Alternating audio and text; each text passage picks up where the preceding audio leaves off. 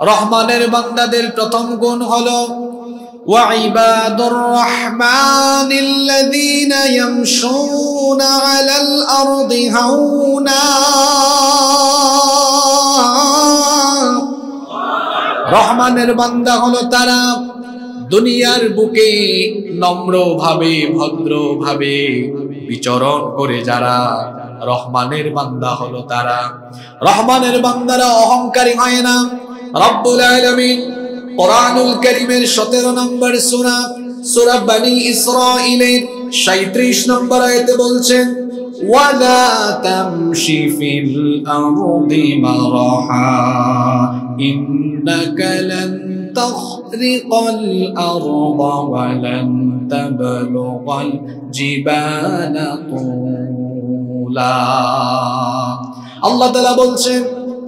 জমিনে অহংকারের সাথে বিচরণ করো না।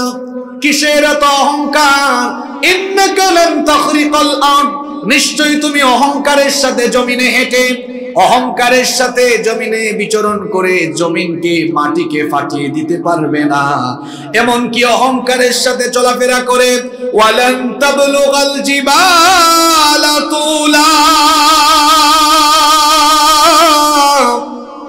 অহংকারের সাথে জমিনে বিচরণ করে, আকাশের উচ্চতায় তুমি পৌঁছে যেতে পারবে না। হাদিসে কুদসিতে আল্লাহ তাআলা বলেছেন, আল কিবরিয়া উরিদাই, অহংকার হলো আমার চাদর। যারা অহংকার করে, তারা যেন আমার চাদর নিয়ে টানাটানি আরম্ভ করে। সুতরাং যারা অহংকারের মাধ্যমে আল্লাহ চাদর নিয়ে টানাটানি আরম্ভ করবে, এদেরকে ভয়াবহ শাস্তির সম্মুখীন যিনি করবেন, জুড়ে বলেন তিনি কি? মানুষ কখনো অহংকার করতে পারে না। অহংকার করা এটা মানুষের স্বভাবে পড়ে না। সেইদিনা লোকমান হাকিমের নামে আল্লাহ কোরআনে কেরিমে একটা সূরা দিয়েছেন। তিনি তার সন্তানকে সুন্দর সুন্দর কিছু নসিহত করেছেন। তার সন্তানকে নসিহত করতে গিয়ে তিনি অহংকারের ব্যাপারে তার ছেলেকে সাবধান করে বলেছিলেন। আল্লাহ তাআলা তার মুখের কথা কোরআনে কারীমে সূরা লোকমানের ভেতরে তুলে দিয়েছেন।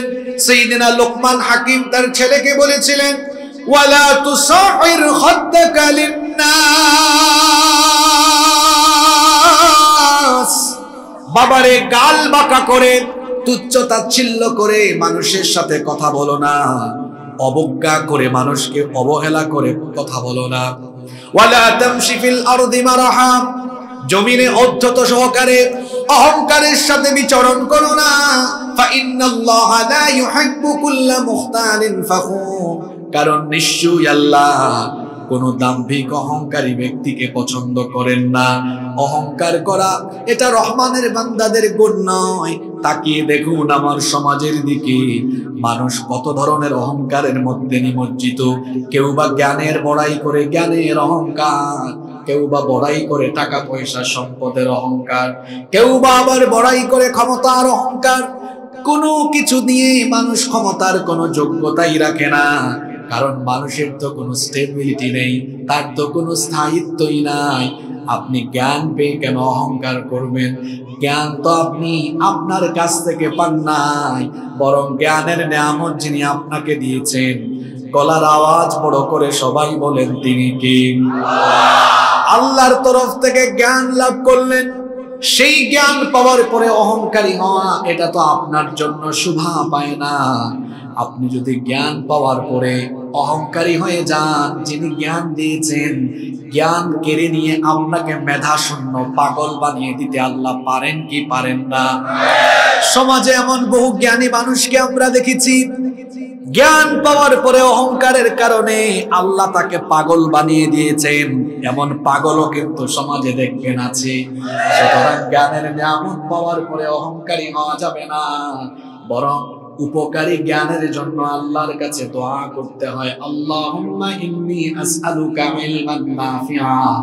হে আল্লাহ, আমাকে এমন ইলম দান করো, এমন জ্ঞান দাও যে জ্ঞানের মাধ্যমে উপকার পাওয়া যায়। এই জ্ঞান থেকে যেন আমি নিজে ফায়দা পাই মানুষের জন্য ফায়দা পাই। এমন জ্ঞান দাও, জ্ঞানের বড়াই করা এটা মোমেন ব্যক্তির স্বভাব নয়। টাকা পয়সার অহংকারও করা যাবে না। কারণ সকাল বেলার টাকাওয়ালা, পয়সাওয়ালাকে বিকেল বেলা রাস্তার ফকির যিনি বানিয়ে দিতে পারেন, তিনি কি? এজন্য টাকা পয়সা আছে বলে আপনি অহংকার করবেন না। মুহূর্তে আল্লাহ চাইলে আপনাকে ফকির বানিয়ে দিতে পারেন আর ক্ষমতা পাওয়ার পরেও অহংকার করা যাবে না। কারণ ক্ষমতা যিনি দিয়েছেন, ক্ষমতা কেড়ে নিয়ে আপনাকে আবার সাধারণ মানুষের কাতারে যিনি দাঁড় করিয়ে দিতে পারেন, তিনি কি? তবে আমাদের সমাজের সিংহভাগ মানুষই দেখা যায় ক্ষমতার পাওয়ার পরে তার হেডাম বেড়ে যায়। যে যখন বসে যায় চেয়ারে, উঠে যায় তখন গিয়ারে। তখন গিয়ার ঠিক থাকে না, কথাবার্তার ব্যালেন্স হারিয়ে ফেলে। চলনে বলনে কথনে অহংকারের বহি প্রকাশ তখন দেখা যায়। ক্ষমতা পেয়ে অহংকারী হবেন না, কারণ ক্ষমতা এমন জিনিস, এটা এখন আছে, একটু পরে নাও থাকতে পারে আজ আছে তো কাল, নাও থাকতে পারে। আপনি ক্ষমতা পেয়েছেন বলে এর অপব্যবহার করবেন না। ক্ষমতার কারণে অহংকারী হয়ে উঠবেন না। সমাজে কত মানুষ দেখে যায়, ক্ষমতা পেয়ে এমন অহংকারী আর অদ্ভুতপূর্ণ আচরণ আরম্ভ করে। তার নিজের মতের বিরুদ্ধে, আদর্শের বিরুদ্ধে চলে গেলে দেখা যায়, সেই সকল লোকদেরকে এলাকা থেকে বের করার ব্যবস্থা করে। মিথ্যা মামলা দিয়ে তাদেরকে বাড়িঘর ছাড়ার ব্যবস্থা করে। খবরদার ক্ষমতার অপব্যবহার করবেন না। কারণ ক্ষমতা দিয়েছেন যিনি, ক্ষমতার চেয়ার থেকে জুতার বাড়ি খাওয়ায়া বেজ্জত করেও নামাতে পারবেন। তিনি ক্ষমতার অপব্যবহার আর অহংকার আরম্ভ করলে ইজ্জত থাকবে না, বেজ্জত হয়ে যাবে। আল্লাহ তালা এই জন্য কোরআনে কারিমে বলেছেন قُلِ مالك الملك تؤتي الملك من تشاء وتنزع الملك ممن تشاء. وتعز من تشاء وتذل من تشاء بيدك الخير. على كل شيء قدير আল্লাহ তালা বলছেন হ্যাঁ নবী আপনি বলুন হে রাজা ধীরাজ আল্লাহ আপনি যাকে চান তাকে ক্ষমতা দেন যার কাছ থেকে ইচ্ছা ক্ষমতা চিনায় আবার ছিনায় আনেন আপনি যাকে ইচ্ছা ইজ্জত দেন যাকে ইচ্ছা আবার ইজ্জত কেড়ে নিয়ে বেইজ্জত করে দেন ক্ষমতায় থাকলেও অনেক মানুষ ইজ্জত পায় না কারণ যারা ক্ষমতার জন্য হায়া সরম ছেড়ে দেয় ক্ষমতায় থেকেও তারা বেইজ্জত হয় ক্ষমতায় থাকলেই মানুষ ইজ্জতওয়ালা হওয়া যায় না। যেমন ফেরাউন, নমরুদ এবং এই স্বভাবের যত মানুষ আছে, এরা ক্ষমতায় থাকলেও ইজ্জত পায় না। সামনে মানুষ ভয়েও তাদের আনুগত্য করলেও পিছনে গিয়ে তাদেরকে জুতার বাড়ি আর গালিগালাজ করে। আবার ক্ষমতা নাই। এমন বহু মানুষ আছে যারা মানুষের সামনে পিছনে ইজ্জত পায়, সম্মান পায়, ক্ষমতার অপব্যবহার করলে আপনি বেজ্জত হয়ে যাবেন। এটা আল্লাহ তালার একটা সুন্নত। এই দুনিয়াতে এমন বহু মানুষ আছে যারা ক্ষমতায় থেকে বেজ্জত হয়েছে। যেমন আমেরিকার সাবেক প্রেসিডেন্ট বুশ। প্রেসিডেন্ট থাকাকালীন জুতার বাড়ি খেয়েছে। আমেরিকার দিকে তাকায় নাই। ক্ষমতার অপব্যবহার আর ক্ষমতায় থেকে ইসলামের বিরুদ্ধাচরণ করলে কীভাবে বেজ্জত হওয়া লাগে? আমার দেশেও এর নজির আছে টাকলা মুরা পাগলা বলে। ইসলাম থাকবে না। ইসলাম তো এখনও আছে। তার মন্ত্রিত্ব তখনই চলে গেছে? পরে দলের নমিনেশন চলে গেছে। পরে ট্রাক নিয়ে দাঁড়িয়েছিল। তার আর তার বান্ধবীর ট্রাক, দুজনের ট্রাক রাস্তা থেকে খাবে করে গিয়েছে। ক্ষমতার অপব্যবহার করবে যারা, টাকলা মুরাদের মতো চরম বিচ্যুতি বরণ করবে তারা। এটা আজ আছে তো কাল নাই, এখন আছে তো পরে নাই। ক্ষমতা পেলে যা মন চায় তা বলবেন না, যা মন চায় তা করবেন না। নইলে আপনাকে বেজ্জতির সাথে জনগণের সামনে আপনার ইজ্জত সম্মান খোয়ানো লাগবে। আল্লাহ বুঝার তৌফিক দান করেন। রহমানের বান্দারা অহংকারী হয় না। তারা কি হয়? বিনয়ী হয়। মান তাওয়াদা লিল্লাহি ফাকাদ রাফাহু আল্লাহ যে ব্যক্তি বিনয়ী হয়, আল্লাহ তার ইজ্জত বাড়িয়ে দেন, তার সম্মান বাড়িয়ে দেন। কাউকে সম্মান দিলে আপনার সম্মান কমবে না। আপনি যদি মানুষকে সম্মান করেন, আপনাকেও মানুষের কাছে তিনি সম্মানিত বানিয়ে দিবেন তিনি কে? এজন্য সবাইকে বলছি, দেখেন আল্লাহ কি সুন্দর কথা বললেন। ওয়াইবাদুর রাহমানিল্লাযীনা ইয়ামশুনা আলাল আরদি হাওনা রহমানের বান্দা হলো তারা। জমিনের বুকে নম্র ভাবে ভদ্র ভাবে বিচরণ করে যারা খবরদার চলনে বলনে কথনে, কখনো যেন অভদ্রতার বহিঃপ্রকাশ না ঘটে। অনেক যুবক ভাইদেরকে মাহফিলে দেখা যাচ্ছে। চিত্রটা খুবই ভালো। যুবক ভাইদের মনোযোগ আকর্ষণ করছি। এখনকার অনেক যুবক ভাইয়েরা আছে রাস্তাঘাটে চলার সময় আদব মেনটেন করে না। আমরা যখন ছোট ছিলাম দেখেছি, রাস্তাঘাটে বড় ভাই এবং মুরব্বীদেরকে দেখলে ছেলেরা বড় আদবের সাথে রাস্তাঘাটে বিচরণ করেছে। মোটর সাইকেল চালালে বাইক চালালেও তখন আস্তে করে চাচার পাশ দিয়ে, মুরব্বীর পাশ দিয়ে, বড় ভাইয়ের কাছ দিয়ে গিয়েছে। কিন্তু এখন কিশোর গ্যাং দেখা যায়। রাস্তাঘাটে মুরব্বী দেখলে, বড় ভাই দেখলে, পাশ দিয়ে যাওয়ার সময় গিয়ার আরও বাড়ায়া যায়। আর যুবকদের অবস্থা আমি কি বলব? এরা তো নিজেরাই ডিজে স্টাইলে অভদ্র ছেলের মতো মোটর সাইকেল চালায়া মা বাবার স্বপ্ন নষ্ট করে কেউ বা পঙ্গু হয়, কেউ বা আবার দুনিয়া থেকে মারাত্মক ভাবে অ্যাক্সিডেন্ট করে বিদায় নেয়। অভদ্রভাবে বাইক চালায়ও না। এই ঢাকা চিটাগং মহাসড়কে প্রতিনিয়ত এমন অ্যাক্সিডেন্ট দেখা যায়। এই যুবকরা, কীভাবে বাইক চালাও? কিছুক্ষণ ডানে এক গাই, কিছুক্ষণ বামে আরেক গাই। এরকম ছেলেরা আছে না নাই? এটার নাম দিয়েছি আমি ডিজে স্টাইল। কিছুক্ষণ ডানে, কিছুক্ষণ পাক পাকুম করে বাইক চালাইও না। তোমার মা বাবার স্বপ্ন শেষ হয়ে যাবে। শোনো যুবক ভাইদেরকে বলছি, হাসাহাসি কইরো না। কত ছেলেদেরকে রাস্তাঘাটে দেখা যায়। ওই যে সেদিন আমি খুলনা থেকে বাগেরহাট যাচ্ছি। এক ছেলে আমাদেরকে ওভারটেক করে দুই সেকেন্ড যায় নাই। দেখলাম ট্রাক একটার ভেতরে ঢুকে মাথা একদিকে পা একদিকে মোটর সাইকেল একদিকে, হাত একদিকে। এই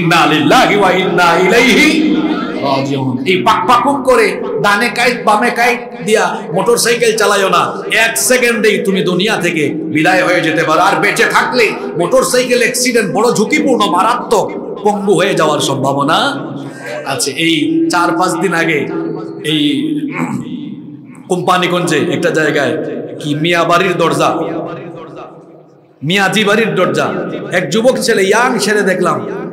তার এক পা নাই। জিজ্ঞেস করলাম, কি হয়েছে? ছেলেটার বয়স বেশি না, বিশ একুশ বছর হবে। কয়, হুজুর তো আমি অ্যাক্সিডেন্ট করে আমার একটা পা হারিয়ে ফেলেছি। একটা পা তার নাই। খবরদার অভদ্র অভদ্রতা বা অভদ্রের মতো রাস্তাঘাটে চলাফেরা করো না।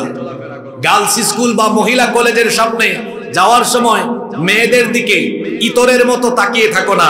মেয়েদেরকে রাস্তাঘাটে দেখলে আদবের খেলাফ করে, চক্ষুকে সংযত না করে তাদের দিকে তাকিয়ে মেয়েদেরকে ডিস্টার্ব করো না।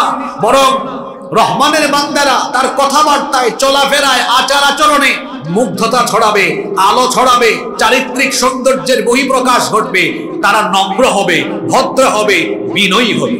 এই গুণে আমরা গুণান্বিত হতে পারব তো? আল্লাহ আমাদেরকে এই গুণে গুণান্বিত করে দাও বলে না আমিন। এরপরে দুই নম্বরে আল্লাহ বলেছেন, রহমানের বান্দাদের গুণ হলো, তারা উগ্র হয় না, বদমেজাজি হয় না। তারা কারও সাথে তর্ক করে না, কারও সাথে বেহুদা কথাবার্তা বলে সময় নষ্ট করে না। মন্দের জবাব মন্দ দিয়ে দেয় না, গালির জবাবে গালিও দেয় না। অজ্ঞ কোনো মানুষের সাথে কথাবার্তা বলে টাইম পাস করে না। বরং জাহেলদের সামনে তারা পড়ে গেলে তারা কি করে? আল্লাহ তালা বলছেন ওয়াইদা খাতাবাহুমুল জাহিলুনা قالوا সালামা রহমানের বান্দা হলো তারা অজ্ঞদের সাথে তর্ক না করে জাহেলদেরকে সালাম দেয় যারা এটা কত বড় গুণ জানেন এটা আমাদের বেশিরভাগের মধ্যে নেই আপনাকে এক ভাই গালিগালাজ করে এটা আপনি জানেন কেউ আপনাকে বলেছে বা বিশ্বস্ত সূত্রে জেনেছেন সে আপনাকে খুব গালিগালাজ করে দাগন ভুইয়া বাজারে যদি আগামীকাল জুমাবারে তাকে পান তা আপনি তো এমন মানুষ। বলবেন, এই, তুই নাকি আমার গালি গালিগালাজ করস? আজকে তোরে সাইজ করে ফেলবি। গালির জবাবে গালি হয় না। রহমানের বান্দা আপনি। আপনি কি বলবেন জানেন? তার সাক্ষাৎ হয়েছে, তাকে সামনে পেয়েছেন। তাকে সামনে পেলে আপনি আগে সালাম দিয়ে বলবেন, ভাইজান, আসেন না। রেস্টুরেন্টে একটু চা খাই, চা খাওয়াইয়া বিল আপনি দিবেন, সুন্দর আচরণ করবেন। সে ভেতরে ভেতরে লজ্জায় মরে যাবে। কাকে গালি গালাজ করি? কাকে নিয়ে আজে বাজে কথা বলি? সে তো ফেরেস্তার মতো মানুষ। ঠিক তো কইলেন, কিন্তু এই গুণ কয়জনের ভেতরে আছে? মহিলাদের, বেশিরভাগ নারীদের ভেতরে এই গুণ নাই, কারণ নারীরা বেশি বেশি ঝগড়া করতে চায়। কোনো মহিলা যদি কোনো মহিলাকে গালি একটা দেয় হাজবেন্ডকে তখন ওই স্ত্রী, ওই নারী বলে, তুমি একটু দাঁড়াও তো, আমি তারে গিয়ে একদম মজাটা বুঝাই দিয়ে আসি। গালি দিলে একটা, ফেরত দেয় বিশটা।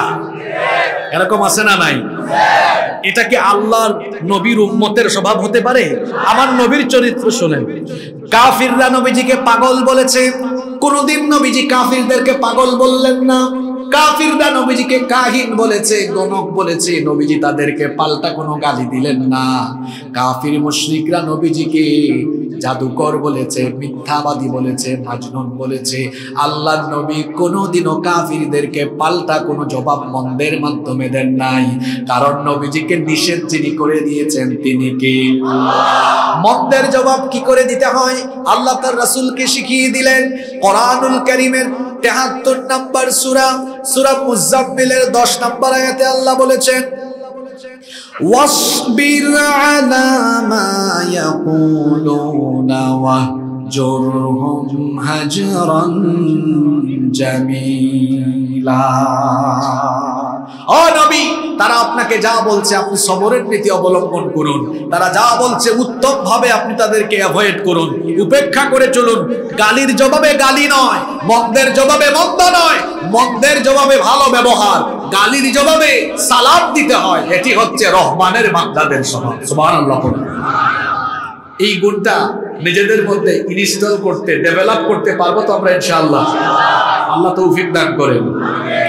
এরপরে তিন নাম্বার গুণ রহমানের বান্দারা তো দিনের বেলা ভদ্র হয়ে নম্র হয়ে বিনয়ী হয়ে চলাফেরা করে, গালির জবাবে, মন্দের জবাবে মন্দ আচরণ করে না। যখন সূর্য ডুবে গেল, রাত যখন হয়ে গেল, সন্ধ্যা যখন হয়ে গেল, রাতের বেলা রহমানের বান্দারা কি করবে? দেখুন, আমরা রাতের বেলা কি করি? আমার অনেক যুবক ভাইয়েরা আছে, রাত দুইটা, তিনটা পর্যন্ত ফেসবুকে পড়ে থাকে, ওয়েব সিরিজ দেখে, থ্রিলার দেখে, মুভি দেখে, কেউ বা আবার পাবজি খেলে পাবজি খেলে বিভিন্ন গেমস আছে না নাই?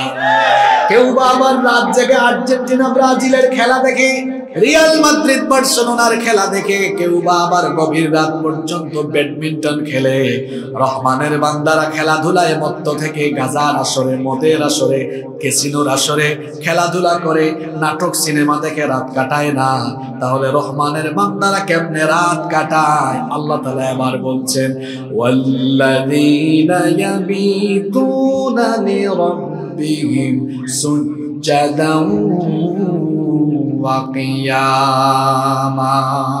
রহমানের বান্দা হলো তারা। রাতের বেলা তাহাজ্জুদের নামাজে দাঁড়িয়ে আল্লাহকে রুকু আর সাজদা করে রাত কাটায় যারা রহমানের বান্দা হলো তারা। আপনাদের মনোযোগ কি আমার দিকে আছে? না অন্যদিকে চলে গেছে? রহমানের বান্দারা রুকু দিয়ে, সাজদা দিয়ে রাত কাটায়। জোরে বলেন তো, কি দিয়ে রাত কাটায়? আরও জোরে বলেন। রুকু, সাজদা দিয়ে রাত কাটায়। আমাদের তো রাত রুকু, সাজদায় যায় না, তামাশায় যায়, খেলাধুলায় যায়, ইন্টারনেট ব্যবহার করে করে থ্রিলার দেখে ওয়েব সিরিজ দেখে দেখে, নাটক সিনেমা দেখে দেখে আমাদের রাত চলে যায়। আর কেউ আছে? ঘুমাইতে ঘুমাইতে রাত কাটায় ফেলে। সকালবেলা ঘুমের থেকে উঠলে গাল ভুলে যায়। হও আমরা ঘুমাতে ঘুমাতে গাল ফুলে যাই। আর আল্লাহ নবী রাতের বেলা তাহার দাঁড়িয়ে থাকতে থাকতে তার পা ফুলে যায়। আল্লাহ আকবার। আমাদের মা আম্মা জানা আয়েশা রাদিয়াল্লাহু আনহা বলেছেন, কানা ইয়াকুমু মিনাল লাইলি হাত্তা তানফাতারা কাদামা। আল্লাহর রাসূল রাতের বেলা এত দীর্ঘ সময় তাহাজ্জুদের নামাজে দাঁড়িয়ে থাকতেন, দাঁড়াতে দাঁড়াতে দাঁড়াতে দাঁড়াতে আল্লাহর নবীর পা মুবারক ফুলে যেত। আমার আপনার রাতের বেলা মোবাইল দেখতে দেখতে চক্ষু ফুলে যায়। কেউ আবার ঘুমাতে ঘুমাতে শরীর ফুলে যায়, গাল ফুলে যায়। আর আল্লাহ নবী রাতের বেলা তাহাজ্জুদ আদায় করতে করতে করতে করতে পা ফুলে যায়। তাহাজ্জুদের নামাজ হলো আল্লাহর প্রিয় বান্দাদের, নেককার এবং বুজুর্গ ব্যক্তিদের সিক্রেট আমল। এজন্য আল্লাহ নবী বলেছেন আলাইকুম রাতের নামাজ, তাহাজ্জুদের নামাজকে তোমরা তোমাদের আমল বানিয়ে নাও। মান ক্বাবলাকুম। কারণ এটা ছিল তোমাদের পূর্ববর্তী সকল নেককার ব্যক্তিদের আমল। যদি এই আমল নিজের মধ্যে ডেভেলপ করতে পারো আল্লাহ নবী বললেন, ওয়া হুয়া কুরবাতুন ইলা রাব্বিকুম। এই আমল তোমাকে তোমার রবের নিকটবর্তী নৈকট্যশীল বান্দা বানিয়ে দিবে। রাতের আধারে যারা সিজদাতে রয়, দু চোখের শ্রুতে নদী যেন বয়। রাতের আধারে যারা সিজদাতে রয়, দু চোখের শ্রুতে নদী যেন বয়। ছলনার হাত ছানি যত আসো, পেছনে ফিরে ও তাকায় না। পেছনে ফিরে ও তাকায় না। যাদের হৃদয়ে আছে আল্লাহর ভয়, তারা কবু পথ ভুলে যায় না। আল্লাহর প্রেম ছাড়াই দুনিয়ায় কারও কাছে কোনো কিছু চায় না। কারও কাছে কোনো কিছু চায় না। রহমানের বান্দারা, আজে বাজে কাজ করে রাত কাটায় না। আহারে, আমার ছাত্র, যুবক, তরুণ ভাইদের আজ বেশিরভাগ রাতের বেলা মোবাইলের অপব্যবহারে তারা লিপ্ত রয়েছে। গার্লফ্রেন্ডের সাথে কথা বলে বলে রাত কাটাইবে। কি ভদ্র ছেলে পেলে ঠিক বলে সমর্থন দিয়েছে। তারপরে ওয়েব সিরিজ, থ্রিলার, পর্নোগ্রাফি দেখে দেখে তার অবস্থা খারাপ। যুবক ভাইদের আজ বেশিরভাগকেই দেখা যাচ্ছে জুয়ান বয়সে বুড়ার মতো ভাব ধরেছে। শরীরে শক্তি নাই, গাল ভেঙে গিয়েছে, যৌবন হারিয়ে যাচ্ছে চেহারা লাবণ্য শেষ। কি ব্যাপার? তার যৌবন গেলে চেহারা সুরতের এই অবস্থা কেন?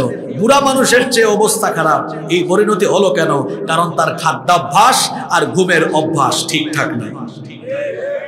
এরা সকালের নাস্তা করে, দুপুর একটায়। তাদের রাত হয় সকালবেলা। তারা ঘুম আরম্ভই করে শেষ রাতের দিকে। এদের খাদ্যাভ্যাস, ঘুমের অভ্যাস ঠিকঠাক নাই। রাতের নামাজ, এটা আপনার চরিত্রকে সুন্দর বানিয়ে দিবে। আপনার যৌবনকে সমৃদ্ধ করবে, চেহারায় লাবণ্য ভাব ফিরিয়ে আনবে। আর একজন মুসলমান, একজন মুমিনের, একজন মুত্তাকির সবচাইতে উত্তম মেকআপ হলো পাঁচ ওয়াক্ত নামাজের অজু পাঁচ ওয়াক্তের নামাজ আর তাহাজ্জুদের নামাজ। আল্লাহ নবীজি বলেছেন, একটু আগে যে হাদিস বললাম, তাহাজ্জুদের নামাজ হলো পূর্ববর্তী সকল নেককার ব্যক্তিদের আমল। বড় বড় বুজুর্গ ব্যক্তিগণ রাতের বেলা এক, দেড় ঘণ্টা, দুই ঘণ্টা, তিন ঘণ্টা সর্বোচ্চ ঘুমিয়েছেন। তারপরেও আল্লাহর বান্দাদের চেহারার দিকে তাকালে মনেই হয় না, এরা এত কম ঘুমায় চেহারার দিকে তাকালে মনে হয় চেহারা থেকে যেন নূর ঝরে পড়ছে। আর যারা মোবাইল দিয়ে রাত কাটায়, নামাজ তো নাই, তাহাজ্জুদ নাই, মোবাইল দিয়ে রাত কাটায়, পাবজি পাবজি খেলে রাত কাটায়।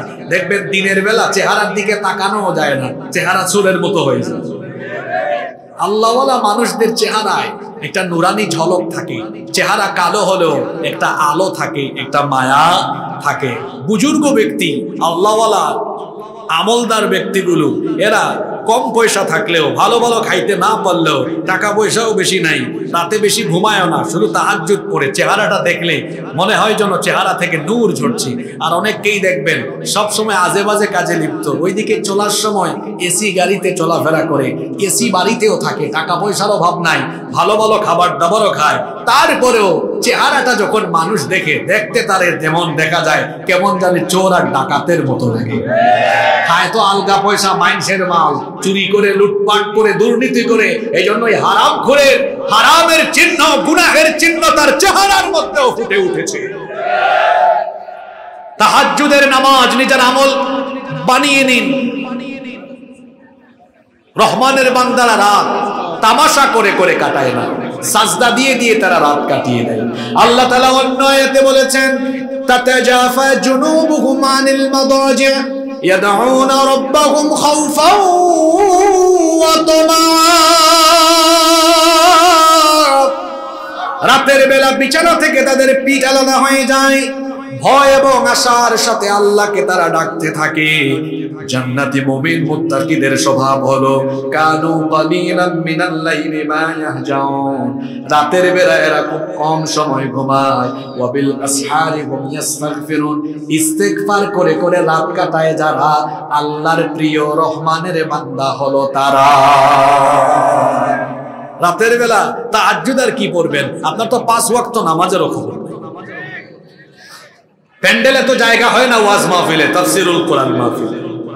কিন্তু এশার নামাজে, ফজরের নামাজে যে এলাকায় মাহফিলের আয়োজন হয়, মাঝে মাঝে কোনো কোনো এলাকায় এটাও দেখা যায়, রাত বারোটা একটা পর্যন্ত সবাই মাহফিলে হাজির। সকালবেলা মাহফিলের স্বেচ্ছাসেবকরাও ফজরের জামাতে হাজির। ইসলামের সবচেয়ে বড় ইবাদত ওয়াজ না নামাজ? জোরে বলেন? আহা। আপনি যেন আল্লাহকে সাজদা দেন, আল্লাহ পাঁচ ওয়াক্ত নামাজ দিলেন। একটা সাজদাও দেন না প্রত্যেকদিন। ইবলিস আল্লাহকে সাজদা দেয় নাই কয়টা? পুরুষ মানুষের মতো জবাব দেন। ইবলিস আল্লাহকে সাজদা দেয় নাই কয়টা? একটা না দিয়ে কি হয়েছে? শয়তান হয়েছে, মারদুদ হয়েছে মালউন হয়েছে, কাফির হয়েছে। এজন্য আল্লাহ বলেছেন ওয়া ইদ কুলনা লিল মালাইকাতি ইসজুদু লি ফাসাজাদু ইল্লা ইবলিস, আবা ওয়াস্তাকবারা ওয়া কানা মিনাল কাফিরিন। স্মরণ করো যখন ফেরেশতাদেরকে বলা হয়েছিল আদমকে সাজদা দাও। ইবলিস ছাড়া সবাই সাজদা দিয়েছে। ইবলিস আল্লাহর হুকুম অমান্য করে, অগ্রাহ্য করে, অহংকারের সাথে এই আদেশ অমান্য করার কারণে কানা মিনাল কাফিরিন, সে কাফির হয়ে গেল। ইবলিস একটা সাজদা না দিয়ে কাফের হয়ে গেল। আর আপনি প্রত্যেকদিন পাঁচ ওয়াক্ত এতগুলা সাজদা নামাজের ভেতরে একটাও দেন না। ইবলিস একটা সাজদা না দিয়ে কাফের হয়ে গেল। আর আপনি প্রতিদিন আল্লাহকে সাজদা দেন না। আপনি কোন জায়গায় আছেন? নিজের বিবেককে প্রশ্ন করেন। অনেকে বলে, হুজুর, আমি জায়গা মতোই আছি। আমি খুব ব্যস্ত মানুষ তো। নামাজ ঠিক মতো পড়তে পারি না। ইমান ঠিক আছে। ইমান থাকলে তো ইমান ঠিক থাকবে। আপনার ইমানই তো না, এটা ঠিক থাকে আবার কেমনে? নবীজি বলেছেন, যার মধ্যে নামাজ নাই, তার মধ্যে ইমানই আপনার ইমান থাকলে না, এটা ঠিক এটা ঠিক থাকবে। আল্লাহ নবী বলেছেন, মান তারাকা সালাতা মুতাআম্মিদান, ফাকাদ কাফারা জিহারান। যে ব্যক্তি ইচ্ছা করে নামাজ ছেড়ে দেয়, সে সরাসরি আল্লাহর সাথে কুফরি করে। জান্নাতের গন্ধ পাবেন না।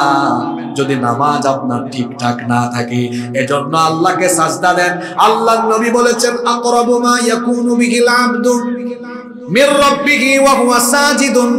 বান্দা যখন আল্লাহকে সাজদা দেয়, তখন বান্দা আল্লাহর একেবারে কাছাকাছি চলে যায়। আল্লাহর কাছাকাছি হতে হলে, আল্লাহর প্রিয় হতে হলে সাজদা দেওয়া লাগবে। পাঁচ ওয়াক্তের সাজদা ঠিক করে আল্লাহর প্রিয় বান্দা হতে হলে আপনাকে তাহাজ্জুদের আমল নিজের মধ্যে ডেভেলপ করতে হবে। আল্লাহ তাআলা এই গুণে আমাদেরকে গুণান্বিত হওয়ার তৌফিক দান করেন, সবাই বলেন, আমিন। কয়টা গুণের কথা বলেছি? এটা কি দেখেন আপনারা? এটা জীবনে দেখেন নাই? কয়টা গুণের কথা বলেছি? কয়টার কথা বলেছি? বলে ফেলছি কয়টা? জোরে বলেন। আরও জোরে বলেন। তিনটা। কয়টা বলেছি? একটু পরে পড়া আদায় করব কিন্তু। নাম্বার ফোর চার নাম্বার রহমানের বান্দা হলো তারা। ইবাদত গুজার হওয়ার পরেও অহংকারী হয় না যারা। আমাদের সমাজে এমন বহু মানুষ আছে, ইবাদত গুজারি হয়ে যাওয়ার পরে তার মনের মধ্যে অহংকার চলে আসে। পাঁচ ওয়াক্ত নামাজ ঠিক আছে? তাহাজ্জুদ ঠিক আছে?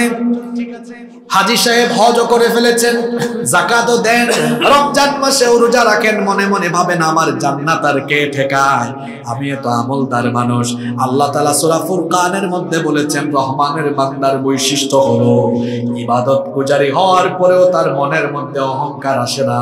বরং ইবাদত গুজার হওয়ার পরেও আল্লাহর জাহান্নামের আযাব থেকে বাঁচার জন্য আল্লাহর কাছে তারা দোয়া করে।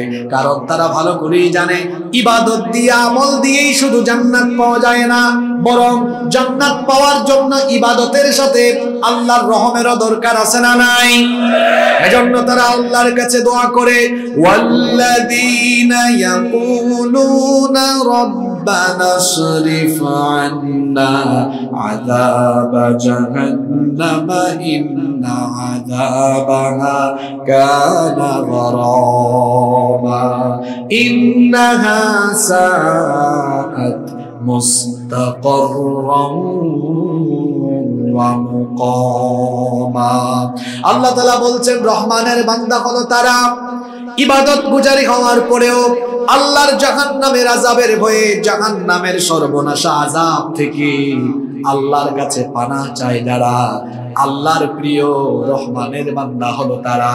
শুধুমাত্র আমল দিয়ে কেয়ামতের দিন জান্নাতে যাওয়া যাবে না। আমলের সাথে আল্লাহর দয়ারও দরকার আছে না নাই। আল্লাহর দয়া না থাকলে জান্নাত পাওয়া যাবে না। এজন্য নবীজি বলেছেন দিবা যার কাছ থেকে কেয়ামতের দিন হিসাব নিকাশ চাওয়া হবে, সেই ব্যক্তি আটকে যাবে, ধরা খাবে। সেই ব্যক্তি জাহান নামে যাওয়া লাগবে। কেয়ামতের দিন আল্লাহ যদি কারও কাছ থেকে সহজ হিসাব নিতে চান, আল্লাহ তালা বান্দার হাতে থাকা আমল নামা দেখবে। কিন্তু যাচাই বাছাই না করে আল্লাহ তাকে দয়া করে জান্নাত দিয়ে দিবে। এজন্য আল্লাহ নবী নিজেই দোয়া করতেন, আল্লাহুম্মা হাসিবনি হিসাবান ইয়াসীরা। হে আল্লাহ, আমার কাছ থেকে তুমি সহজ করে হিসাব নিও। যে নবীর জীবনে গুনাহের কোনো দাগ নাই, গুনাহের কোনো ছিটা ফোটাও নাই, জন্ম থেকে নিয়ে অফাত পর্যন্ত নবুয়তের আগেও মাসুম, নবুয়তের পরেও মাসুম, সেই নবী আল্লাহর কাছ থেকে সহজ হিসাবের জন্য দোয়া করেন এবং কি ফজর এবং মাগরিবের নামাজের ফরজের পরে সাতবার আল্লাহর কাছে তিনি জাহান্নামের আযাব থেকে পানা চাইতেন, দোয়া করতেন, আল্লাহুম্মা আজরিনি মিনান নার আল্লাহুম্মা আজরিনি মিনান নার তো যেই নবীর জন্য জান্নাত অবধারিত, সেই নবী সহজ হিসাবের জন্য জান্নাত জাহান্নামের আগুন থেকে বাঁচার জন্য দোয়া করতেন। উম্মত হিসাবে আমাদেরকেও আরও বেশি দোয়া করার দরকার আছে না নাই? এজন্য আল্লাহ বলছেন, রহমানের বান্দা হলো তারা। জাহান্নামের আযাব থেকে আল্লাহর কাছে পানা চাই যারা। রহমানের বান্দাদের পাঁচ নাম্বার স্বভাব হলো রহমানের বান্দা হলো তারা। কৃপণতা এবং অপব্যয় করে না যারা রহমানের বান্দারা কিপটা হয় না। আমাদের সমাজের মধ্যে কৃপণ মানুষ আছে না নাই? অনেক মানুষ আছে না? কৃপণ। আল্লাহ তাকে অনেক টাকা পয়সা দিয়েছেন। এরপরেও ছেঁড়া কাপড় চুপড় গায়ে দেয়। ছেঁড়া কাপড় চুপড় গায়ে দিয়ে হাঁটে। টাকা পয়সা আছে, কিন্তু বাজার থেকে ভালো মাছ ভালো শাকসবজি কিনে আনবে না, ভালো খাবে না, টাকা পয়সা জমায়ে রাখবে। যারা কৃপণতা করে টাকা পয়সা জমিয়ে রাখে, নিজের স্বাস্থ্যকেও, নিজের শরীরকেও যারা ভালো কিছু দেয় না, শরীরের হক আদায় করে না, এই কিপটামি করে জমিয়ে রাখা সম্পদগুলো আবার শেষ বয়সে স্বাস্থ্য রক্ষায়, শরীর রক্ষায় সব শেষ হয়ে যাবে, কোনো ফায়দা হবে না। এজন্য আল্লাহ যেটা দিয়েছেন আপনি আল্লাহর নেয়ামতের বহিঃপ্রকাশ ঘটান। আল্লাহ তালা টাকা পয়সা দিয়েছেন। যতটুকু আছে ততটুকুর আলোকে আপনি এমন ভাবে চলাফেরা করেন যাতে আল্লাহর নেয়ামতের বহিঃপ্রকাশ ঘটে। যে আল্লাহ আমাকে দিয়েছেন, আল্লাহর নেয়ামত আমি ভোগ করছি। কৃপণতা করা যাবে না, আবার অপব্যয়ও করা যাবে না। আপনাকে আল্লাহ টাকা পয়সা দিয়েছেন বলে নাচের আসরে, গানের আসরে, টাকা একটু আসে বলেই বাড়িতে ওয়াইফাই লাগাইয়া আজে বাজে জিনিস দেখতে পারবেন না। কারণ আপনি তো আল্লাহর বান্দা, আল্লাহর আনুগত্য আপনার মধ্যে থাকবে। টাকা পয়সা আছে বলে হারাম কাজে বাজে কাজে আপনি পয়সা খরচ করতে পারেন না কারণ রহমানের বান্দারা কৃপণও হয় না তারা অপব্যয়কারীও হয় না তাহলে রহমানের বান্দারা কি হয় আল্লাহ তালা বলছেন والذين إذا أنفقوا لم يقتروا ولم يس ولم يسرفوا وكان بين ذلك قواما الله تعالى বলছেন والذين إذا أنفقوا لم يسرفوا ولم يقتروا وكان بين ذلك قواما বান্দা হলো তারা খরচ করার সময় কৃপণতা এবং অপব্যয় করে না যারা। রহমানের বান্দারা কৃপণ হয় না, অপব্যয়কারীও হয় না। মাঝামাঝিতে তারা থাকে অর্থাৎ মধ্যম পন্থা অবলম্বন করে। এজন্য আল্লাহ বলেছেন ওয়াকানা বাইনা দালিকা কওয়ামা। তারা মধ্যম পন্থার নীতি অবলম্বন করে। কৃপণ হয় না, অপব্যয় করে না, বরং মাঝামাঝিতে থাকে। আল্লাহ যেটা দিয়েছেন, সেটা খরচ করে নিজের আর নিজের পরিবারের জন্য বাকি যেটুকু থাকে সম্পদ জমায় না, কারণ সম্পদ জমালে আফসোস করতে হবে। আল্লাহ সূরা হুমাজার মধ্যেও বলেছেন, আল্লাযী জামা মালান ওয়া আদ্দাদা, ইয়াহসাবু আন্না মালাহু আখলাদা। মাল সম্পদ জমিয়ে সে ধারণা করে এটা তার চিরস্থায়ী হবে। কিন্তু টাকা পয়সা ধন সম্পদ কারও জন্য চিরস্থায়ী হয় করোনাকালীন সময়ে যমুনা গ্রুপের মালিক মারা গিয়েছে। হাজার হাজার কোটি টাকা তার অ্যাকাউন্টে ছিল। কত ধন সম্পদ হয়তো তার নিজের কাছেও জানা নাই। সেই সকল ধন সম্পদ রেখে সাধারণ মানুষ যেভাবে কবরে যায়, সেও সেভাবে কবরে গিয়েছে। আমাদের সাথে টাকাও যাবে না, পয়সাও যাবে না, বাড়ি গাড়ি কিছুই যাবে না। এজন্য আল্লাহ বলছেন, যারা বুদ্ধিমান যারা মমিন ব্যক্তি, যারা আল্লাহর প্রিয় বান্দা, তারা কৃপণতা করে না অপব্যয় করে না। নিজেরা নিজের পরিবারের জন্য যেটুকু দরকার, খরচের পরে বাকিটুকু যার পথে দান করে দেয়, জোরে বলেন তিনি কি? আসতে বলবেন না, জোরে বলেন তিনি কি? এজন্য রব্বুল আলামিন কোরআনুল কারীমের 17 নম্বর সূরা সূরা বনি ইসরাঈলের 29 নম্বর আয়াতে বলছেন ওয়ালা তাজআল ইয়াদাকা মাগলুলাতান ইলা উনুকিকা ওয়ালা তাবসুতহা কুল্লাল বাসতি ফাতাকউদা মালুমান মাহসুরা. তুমি তোমার হাতকে ঘাড়ে উঠায় ফেলো না। আবার এত বেশি প্রশস্ত করে দিও না, যাতে করে তোমার সকল ধন সম্পদ শেষ হয়ে যায়। অর্থাৎ কৃপণ হয়ে হাতটাকে তুমি ঘাড় পর্যন্ত উঠায় রেখো না, আবার দিতে দিতে সব দিয়ে দিও না। আল্লাহ তালা সুন্দর একটা নীতি শিখালেন। মধ্যম পন্থার নীতি অবলম্বন করো। ওই যে একটু আগে বললাম, যতটুকু আল্লাহ দিয়েছেন নিজের আর নিজের পরিবারের জন্য, খরচ করার পরে টাকা পয়সা না জমায়া বাকিটুকু খরচ করে দিতে হবে কার পথে? কথা শুনতেছেন না ঘুমায় যাচ্ছে। তাহলে আল্লাহর পথে খরচ করতে রাজি আছেন তো সবাই? কারা কারা রাজি আছেন দেখে হাত তুলেন? হাত কেউ নামাবেন না। আল্লাহর পথে খরচ করতে সবাই রাজি, ভালো করে হাত তুলেন। কি জাতের রাজি? আজকে ওয়াজ বাস্তবে এখানে জায়গায় বসে আমল হবে। যান, স্বেচ্ছাসেবক ভাইরা ব্যাগ নিয়ে ঢুকেন তো। এই মসজিদের উদ্যোগে মাহফিলের আয়োজন হয়েছে। মসজিদে আমাদের সৎকার পয়সাগুলো যাবে। কারণ রহমানের বান্দারা কিপটা না, তারা অপব্যয় করে না, তারা দান করে। জোরে বলেন, কি করে? আর মসজিদে দান করা, মসজিদ হচ্ছে আল্লাহর সবচাইতে প্রিয় জায়গা, বাজার হলো সবচাইতে নিকৃষ্ট জায়গা। ব্যাগ যাচ্ছে। আপনারা ভাবিয়েন না, ওয়াজ মনে হয় শেষ। রহমানের বান্দাদের গুণ কয়টা? বারোটা, বলছি কয়টা? পাঁচটা। ওই মাঝখানে একটা ক্লাস টেস্ট হচ্ছে আর কি। এটা কি হচ্ছে? হাত নামায় ফেলেন, হাত নামায় ফেলেন। হাত নামাইয়া পকেটে ঢুকায় রাখেন। মানুষের পকেটে ঢুকায় রাখেন না। নিজের পকেটে ঢুকান। এটা একটা টেস্ট চলছে যে আমরা ওয়াজ শুনতেছি, আমলও করছি। কিছুক্ষণ পরে ফাইনাল হবে। তবে ফাইনালটা কীভাবে হবে, এটা এখন বলা যাবে না। ভয় পাইয়েন না। ফাইনাল মানে আবার সবার কাছ থেকে টাকা পয়সা লুট করে রেখে দেওয়া হবে না। বরং ফাইনালটা একটু ইলমি মুদাকারার মাধ্যমে শেষ হবে। ইনশা আল্লাহ তাহলে আমরা কয়টা বলেছি? জোরে বলেন কয়টা? আপনারা ডানে বামে যেভাবে তাকাচ্ছেন, এটা খুব দৃষ্টিকটু। একটু আগে ড্রোন একটা উঠল ওইটার দিকে তাকায় আছে। অথচ এদিকে কোরআনের সুন্দর আলোচনা চলে যাচ্ছে। এখানে আমরা সামান্য কিছু মানুষ, এখানে যদি আমরা পরিবেশটা নিশ্চিত করতে না পারি, তাহলে আলোচনা থেকে ফায়দা আসবে না। এটা কি আমি যতগুলো কথা শুরু থেকে বলছি, আমার বাপদাদার কোনো কথা বলছি? কোরআন শোনার তো একটা আদব আছে।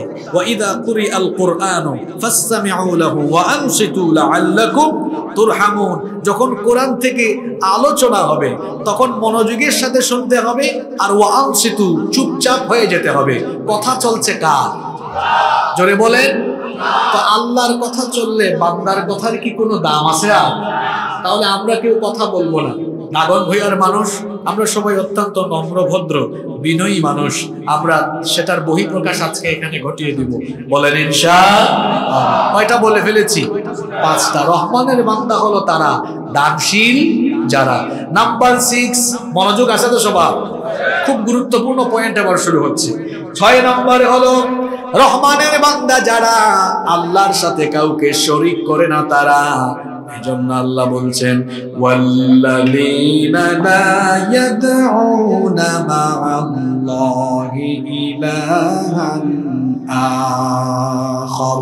রহমানের বান্দা হলো তারা আল্লাহর সাথে অন্য কাউকে ইলা হিসাবে ডাকে না যারা।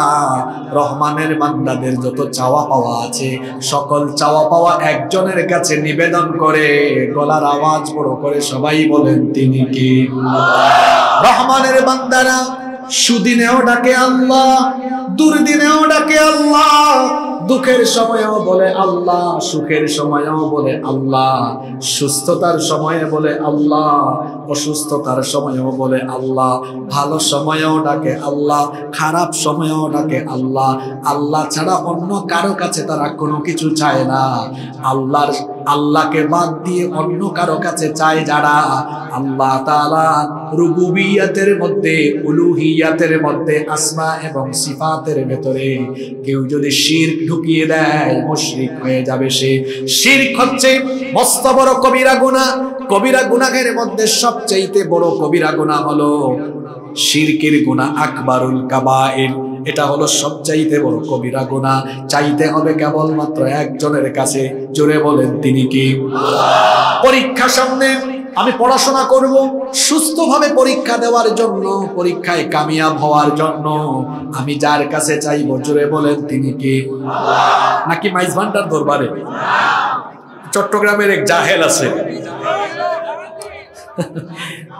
জাহাঙ্গীর না তো, সে নিজেকে জাহাঙ্গীর বলে। জাহাঙ্গীরও বলে না, তার নিজের নাম জাহাঙ্গীর হুজুর, সে নিজেই হুজুর। নিজেই কি? নিজেই হুজুর। কিছু ছেলে পেলেদেরকে নিয়ে মাজারের সামনে গিয়ে বলে, যাও বাজার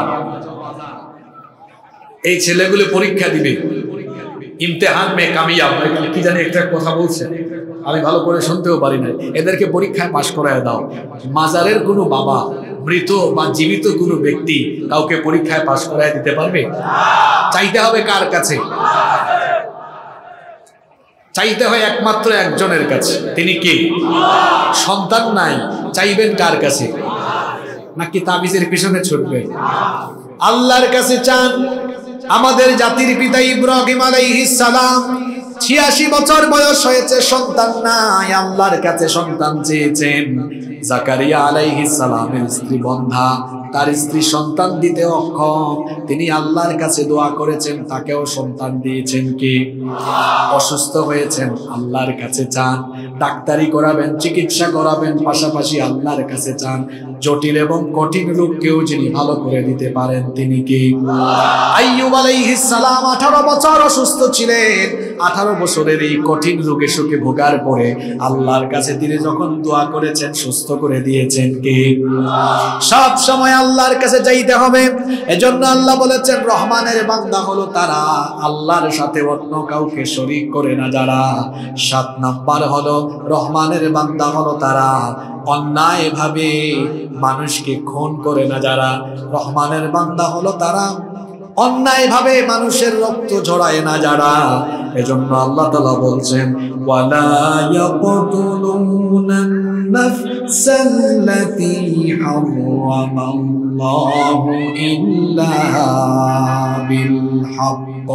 রহমানের বান্দা হলো তারা। অন্যায়ভাবে কোন নফস, কোন প্রাণ শেষ করে ফেলে না। যারা অন্যায়ভাবে এখন মানুষকে খুন করার নজির বর্তমান দুনিয়াতে আছে না নেই? নিরপরাধী মানুষকে অপরাধী বানিয়ে মেরে ফেলার নজির আমাদের সমাজে গোটা পৃথিবীতে আছে। কোনো অপরাধ নাই। নিরপরাধী মানুষকে অপরাধীর অপবাদ দিয়ে অপরাধের অভিযোগ এনে তাকে বিচার বহির্ভূত কান্ডায় বিচার বহির্ভূত কায়দায় দুনিয়া থেকে শেষ করে ফেলা এগুলো রহমানের বান্দাদের বৈশিষ্ট্য নয়। আরে, দুনিয়াতে তো এমন অনিকৃষ্ট জালেম আছে যারা সাধারণ মানুষ শুধু নয় আলেমদেরকেও নিরপরাধ আলেমদেরকেও অপরাধী বানিয়ে বিচার বহির্ভূত কান্ডায় দুনিয়া থেকে শেষ করে দিয়েছে। এগুলো কি রহমানের বান্দাদের বৈশিষ্ট্য? এগুলো কি আল্লাহর বান্দাদের বৈশিষ্ট্য? এগুলো জালিমের বৈশিষ্ট্য। এগুলো স্বৈরাচারের বৈশিষ্ট্য। অন্যায় ভাবে নিরপরাধী মানুষগুলোকে অপরাধী বানিয়ে দুনিয়া থেকে বিদায় করে দেয় যারা? দুনিয়ার নিকৃষ্ট জালিম হলো তারা।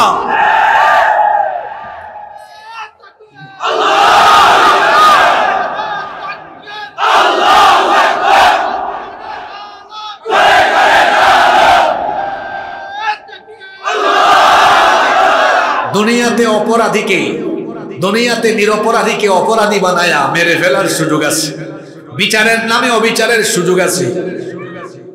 কিন্তু কিয়ামতের দিন সেটা আর হবে এমন বহু মানুষকে দুনিয়া থেকে বিদায় করে দেওয়া হয়েছে, যাদের কোনো অপরাধ নাই। এখন এদেরকে যে অন্যায়ভাবে মেরে ফেলা হলো, দুনিয়ায় তো তারা আর বিচার পাইল না। দুনিয়ায় বিচার না পাইলেও আখিরাতে বিচার না না হাদিসের মধ্যে এসেছে আল্লাহ নবী বলেছেন, কিয়ামতের দিন আল্লাহ তালা যখন বিচার আরম্ভ করবেন, তখন দুইটা হকের বিচার হবে। হাসরের ময়দানে কয়টা হকের বিচার হবে? একটা হলো হাক্কুল্লাহ, আরেকটা হচ্ছে হাক্কুল ইবাদ। একটা আল্লাহর হক, আরেকটা বান্দার হক।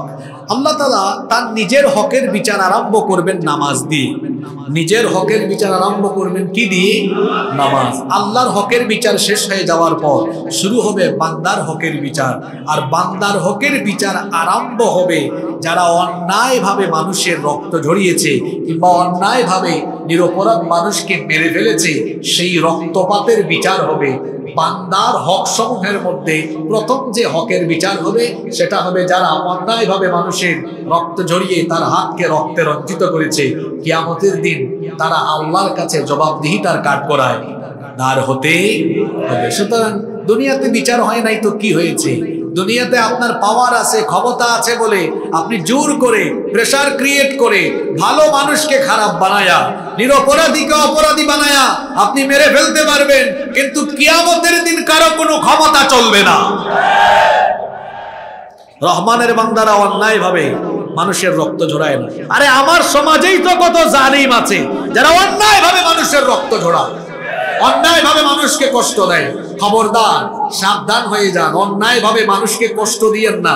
বান্দার হক এটা বড় গুরুত্বপূর্ণ বিষয়। আল্লাহর হক নষ্ট করলে তাওবা কইরা আল্লাহর কাছ থেকে মাফ নিয়ে নেওয়া যায়। কিন্তু বান্দার হক নষ্ট কইরা আল্লাহর কাছে তওবা কইরাও মাফ নেওয়া যায় না। বান্দার হক বান্দাকে ফিরাইয়া দিবেন না যতক্ষণ। অথবা সংশ্লিষ্ট ব্যক্তির কাছে মাফ নিতে পারবেন না যতক্ষণ আল্লাহ আপনাকে মাফ করবেন না, ততক্ষণ আল্লাহ আমাদেরকে বুঝার তৌফিক দান করেন। এরপরে আট নাম্বার, রহমানের বান্দারা চরিত্রবান হয়, জিনার ধারে কাছেও যায় না। এজন্য আল্লাহ তালা বলছেন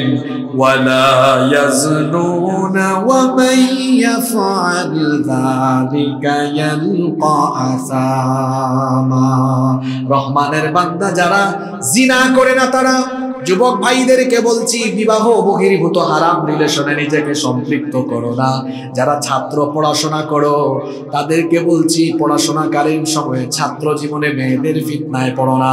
ছাত্র জীবনে যদি মেয়েদের ফিতনায় পড়ে যাও, তোমার কেরিয়ার ধ্বংস হয়ে যাবে চরিত্র নষ্ট হয়ে যাবে, দুনিয়াও ধ্বংস হবে আখিরাত ধ্বংস হবে। ছাত্র জীবন, এই জীবনটা হলো পড়াশোনা আর গবেষণার বয়স। পড়ার টেবিলে মনোযোগী হও, ক্লাসে মনোযোগী হও তাহলে কেরিয়ার সুন্দর হবে, আজান হলে পরে নামাজে দৌড়াও, চরিত্র ভালো হবে।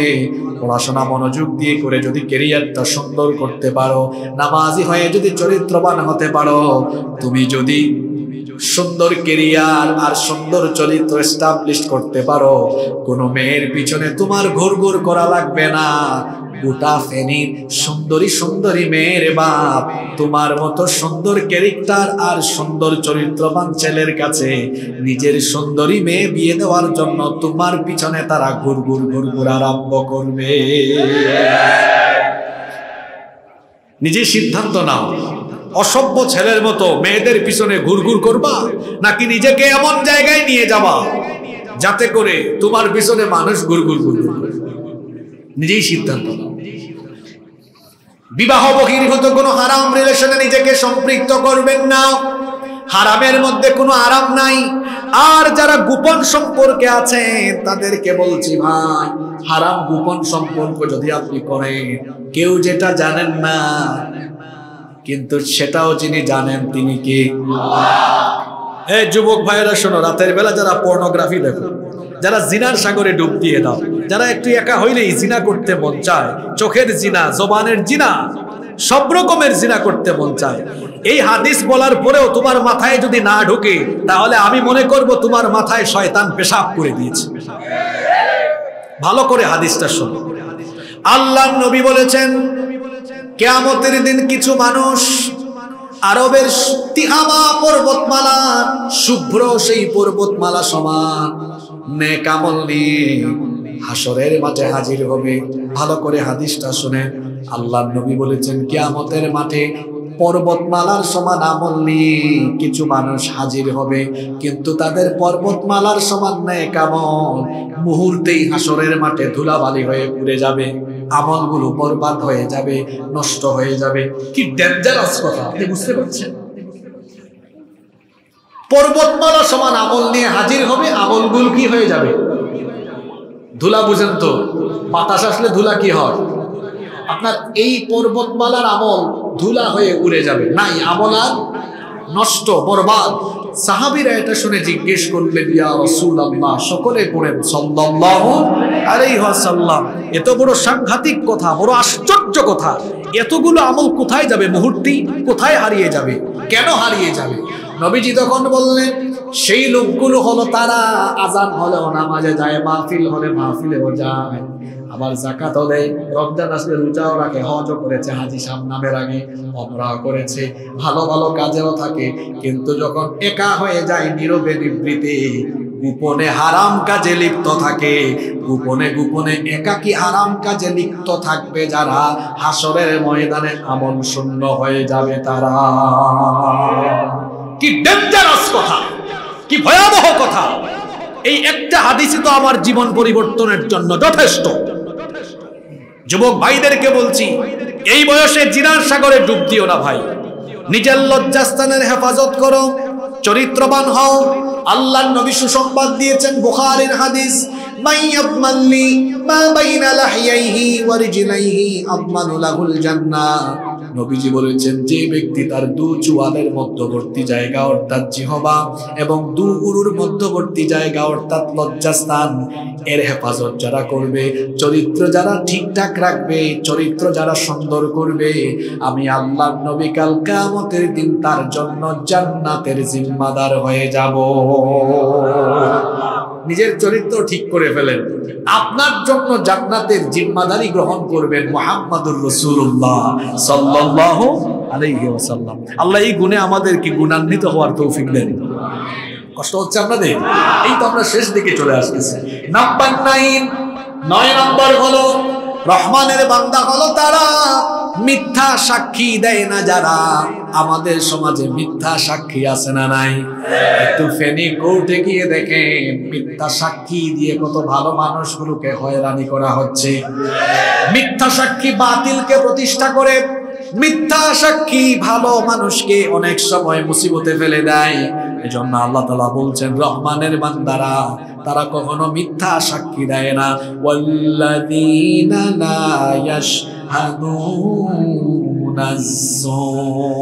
রহমানের বান্দা হলো তারা। মিথ্যা সাক্ষী দেয় না যারা। আমার সমাজে তাকিয়ে দেখেন। মিথ্যা সাক্ষীদাতা অনেক মানুষই আছে, যারা অল্প একটু টাকা খাইয়া মিথ্যা সাক্ষী দেয়। অথবা দুনিয়াবি ফায়দা, দুনিয়াবি স্বার্থ, দুনিয়াবি সামান্য হয়ে পড়ে মাঝে মাঝে মিথ্যা সাক্ষ্য দেয়। আর মিথ্যা সাক্ষী দিতে দিতে দিতে দিতে বর্তমান সমাজের মুমিন নামধারী টাটকা মুনাফিকেরা এত নিচে নেমে গিয়েছে। বড় বড় আলেম, বড় বড় দায়ী ইলাল্লাহ। কোরআনের খাদেমদের বিরুদ্ধেও অনেক মানুষ জঘন্য মিথ্যা সাক্ষ্য দিয়েছে। যাব কোথায় আমরা? শয়তানও খিলখিলিয়ে হাসে। দেখছ কি জাতের শয়তান? হ্যাঁ জাতির শ্রেষ্ঠ সন্তান আলেমদের বিরুদ্ধে মিথ্যা সাক্ষ্য দেয়। আছে না নাই? জোরে বলেন, আছে না নাই? খবরদার, মিথ্যা বলা, মিথ্যা সাক্ষ্য দেওয়া, অথবা মিথ্যা যে কোনো কিছু, এটা কিন্তু বাতিলকে প্রতিষ্ঠিত করে, মানুষকে কষ্টে ফেলে দেয়, মানুষকে কষ্ট দিয়ে না।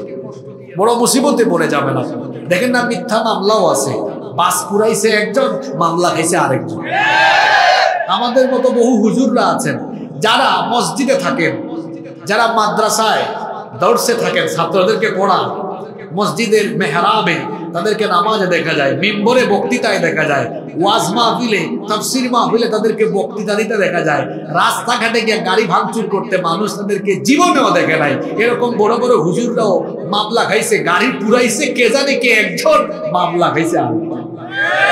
এরকম নাই তো আমার সমাজে। আপনি কি রাগ করলেন নাকি?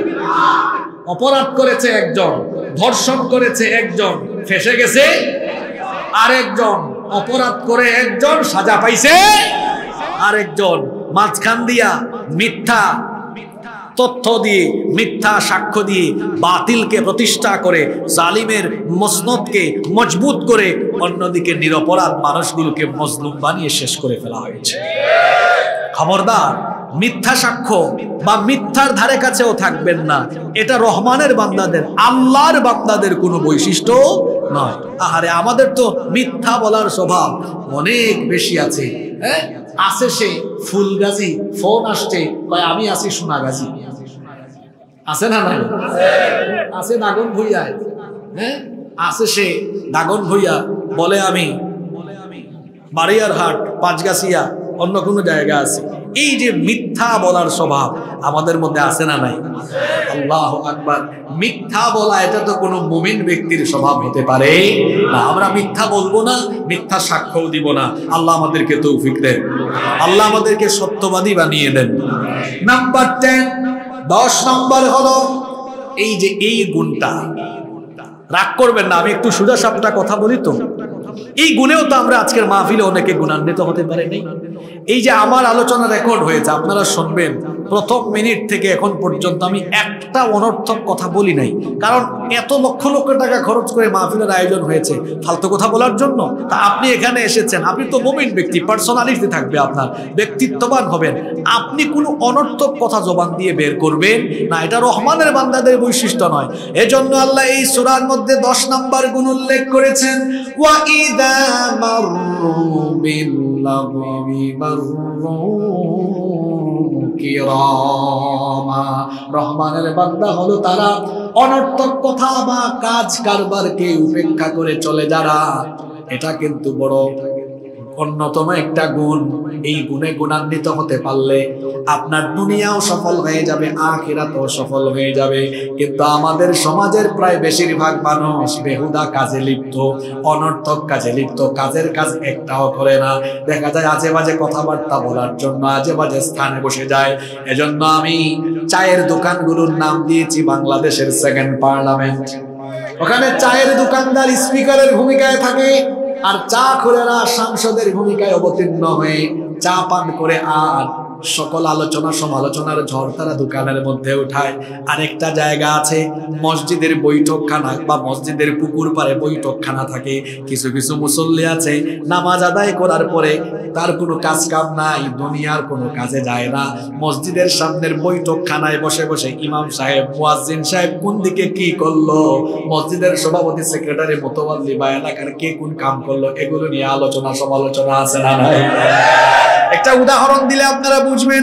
পরীক্ষার হলে এই যে এখন এসএসসি পরীক্ষা চলছে, পরীক্ষার হলে ভালো ছাত্র যখন সকাল দশটায় হলে ঢুকে প্রশ্নপত্র হাতে পাওয়ার পরে সে সামনে তাকায় না, পিছনে তাকায় না, ডানে বামে কাউকে গুতাগুতি করে না, কাউকে জিজ্ঞেস করে না, আমাকে এটা বলে দে। বরং প্রশ্ন পাওয়ার পরে ঘড়িটা সামনে নিয়ে ঘড়ি দেখে দেখে লিখতে থাকে, কারণ সে জানে তার সময় হলো তিন ঘণ্টা। প্রত্যেকটা মুহূর্তকে কাজে লাগায় সামনে পিছনে ডানে বামে তাকানোর তার যেমন সময় নাই, তার সামনে পিছনে ডানে বামে তাকানোর যেমন কোনো প্রয়োজন নাই। ঠিক তেমনি মোমেন বান্দারা, আল্লাহর প্রিয় বান্দারা, দুনিয়াতে সামনে পিছনে ডানে বামে কত বেহুদা কথাবার্তা, কাজকর্ম হচ্ছে, এগুলো দেখা বা শোনার তাদের টাইম না ভালো ছাত্র যেমন তিন ঘণ্টা শুধু লিখে, ঠিক তেমনি ভাবে মমেন বান্দারা, আল্লাহর বান্দারা, রহমানের বান্দারাও মরার আগ পর্যন্ত নেক আমলের প্রতিযোগিতা করে।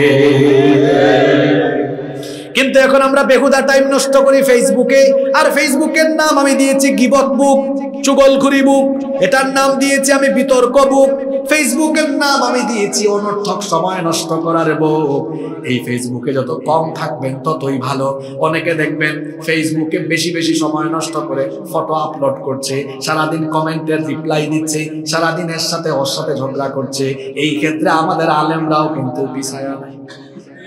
আছে না নাই? যে গত কয়েকদিন ধরে দেখছি আর বড় কষ্ট পাচ্ছি। মেয়ারে হক, সত্যের মাপকাঠি কে? রাসূল ওয়াসাল্লাম নাকি সাহাবীরা?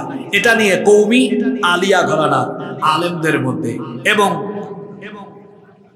বিশেষ করে দুই ঘরানার ইসলামী দলের মধ্যেও ব্যাপক আলোচনা, সমালোচনা ফেসবুক পোস্ট পাল্টা পোস্ট লাইভ পাল্টা লাইভ এগুলো চলছে।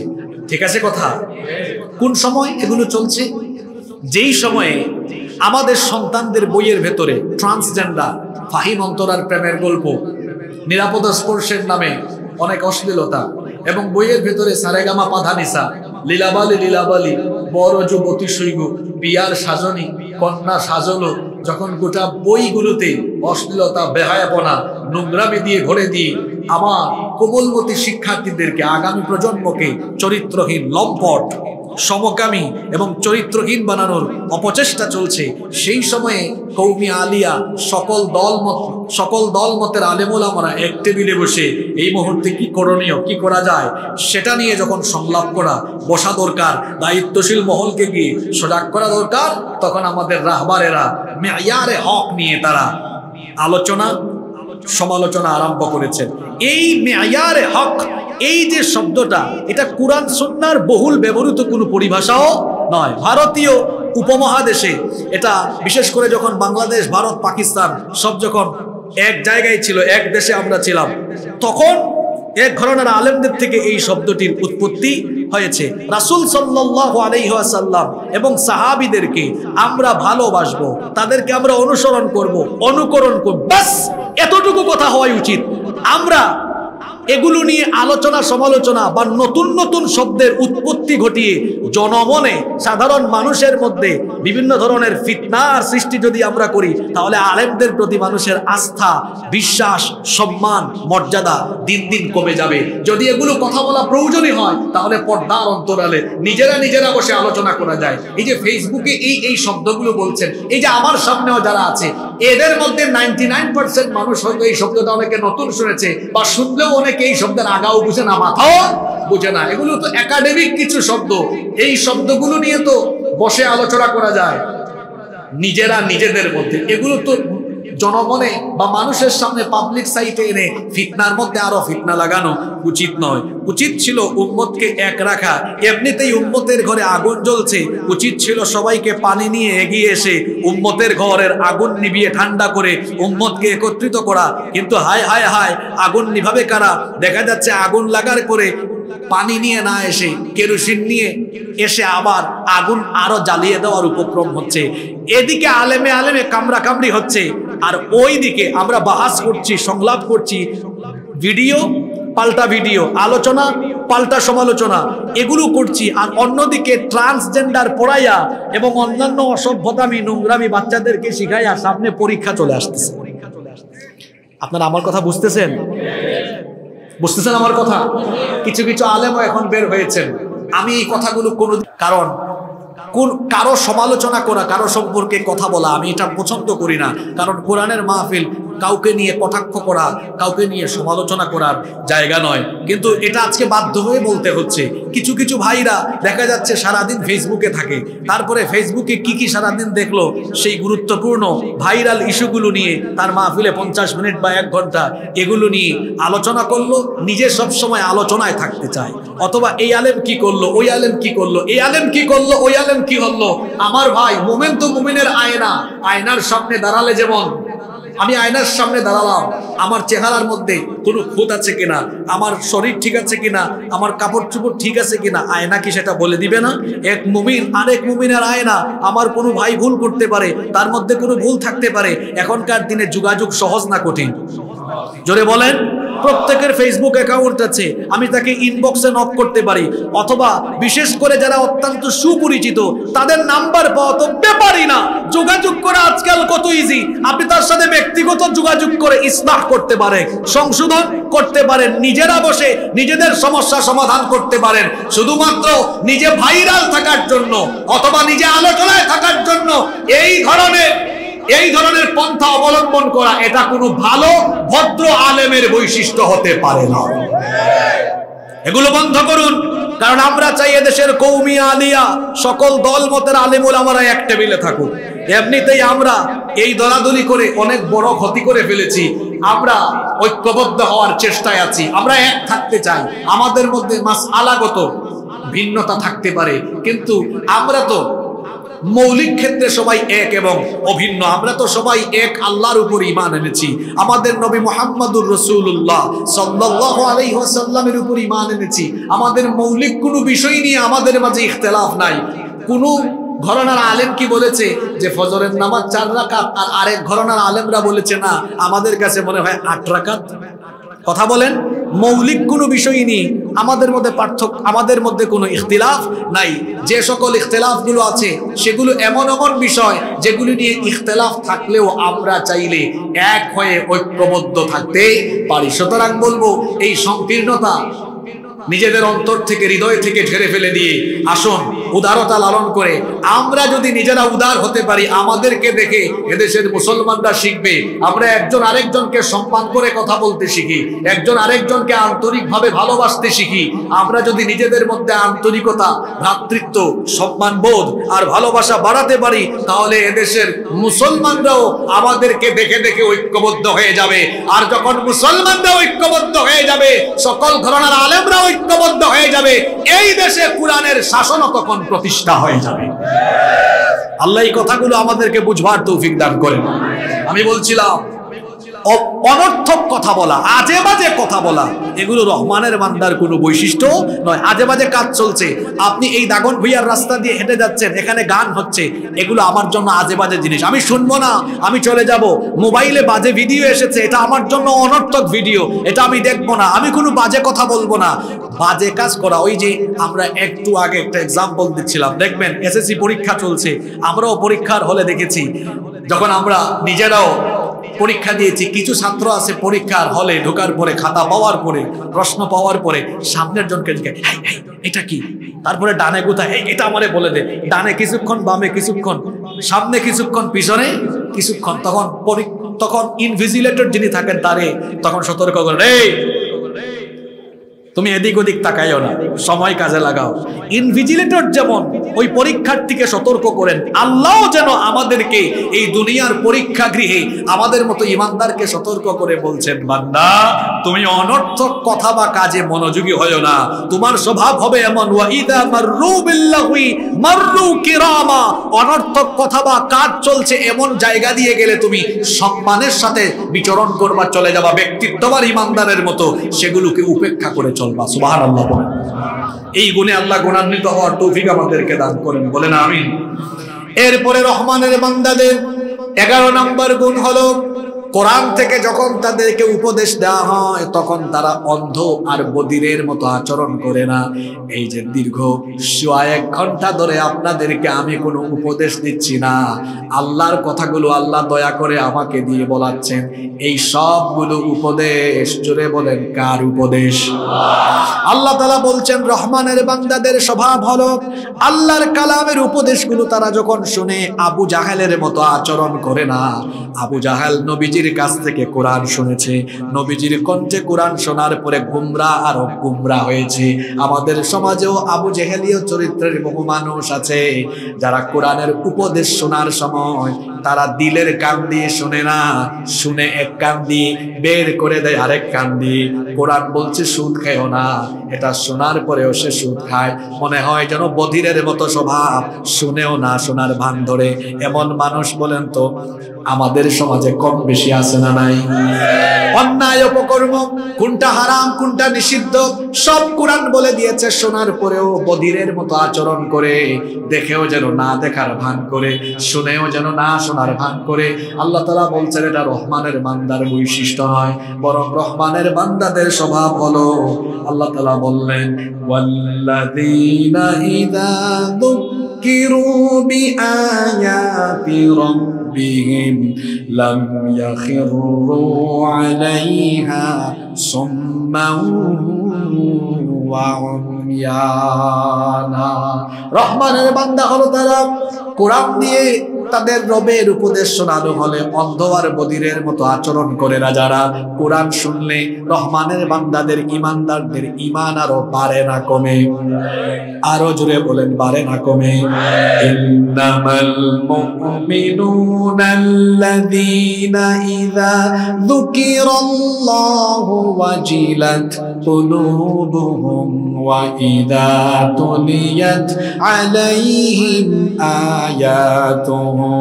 زادتهم إيمانا وعلى ربهم يتوكلون নিশ্চয়ই মুমিন হলো তারা নিশ্চয়ই মুমিন হলো তারা আল্লাহর কথা স্মরণ হলে অন্তরটা কম্পিত হয়ে যাবে।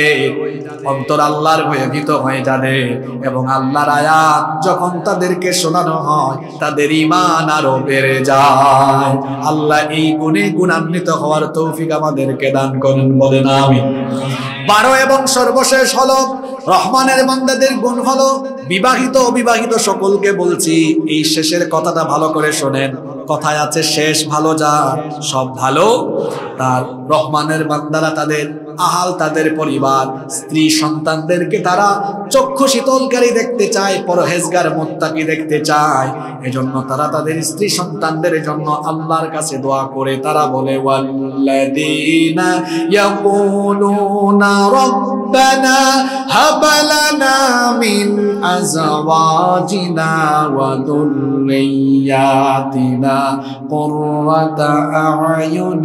ওয়াজ'আলনা লিল মুত্তাকিনা ইমামা রহমানের বান্দা হলো তারা। দোয়ার সময় যারা বলে, হে আল্লাহ, আমাদের স্ত্রী আর সন্তানদেরকে চক্ষু শীতলকারী বানাও। এই দোয়াটি করে যারা রহমানের বান্দা হলো তারা। নেককার স্ত্রী, দিনদার স্ত্রী, আমরা সবাই চাই কি চাই না? যারা বিবাহ করেন নাই, অবিবাহিতরা সকল দোয়া মিস করলেও এই দোয়া মিস করবেন না। বিয়ের আগে আপনার হবু বউয়ের জন্য কি দোয়া করবেন? আল্লাহ দোয়া শিখালেন।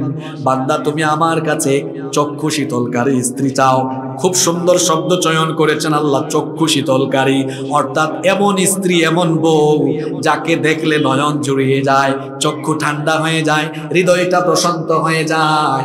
আপনি আপনি ঘরে গিয়ে দেখলেন আপনার স্ত্রী আজান হলে পাঁচ রক্ত নামাজ আদায় করে, রাতের বেলা তাহাজ্জুদ আদায় করে, আপনার স্ত্রী আপনার কেয়ারিং করে, আপনার স্ত্রী আপনার বাবা মায়ের খেদমত করে, সন্তানদেরও ঠিক মতো দেখাশোনা করে।